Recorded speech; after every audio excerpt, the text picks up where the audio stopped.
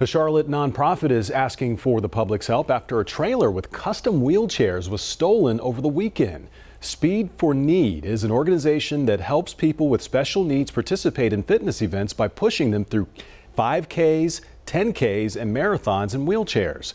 Speed for Needs co-founder says he was on his way to a lot in the Cotswold area to pick up a trailer full of specially outfitted wheelchairs.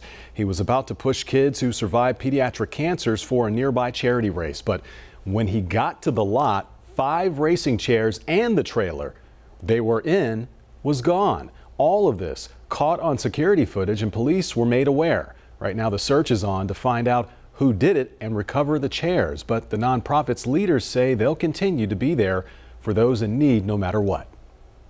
At these races, you never see the people that they're actually benefiting because they're too sick. The last thing they're thinking about doing is participating in a 5K or maybe physically unable to. But the thing they need the most is the support in being at the race and being able to go with their uh, family members. And that's what we're there to do. And so we want to continue doing that, and nothing's going to stop us from it. If you happen to see the trailer or the wheelchair, Speed for Need asked you to shoot them a message on social media or you can contact the police.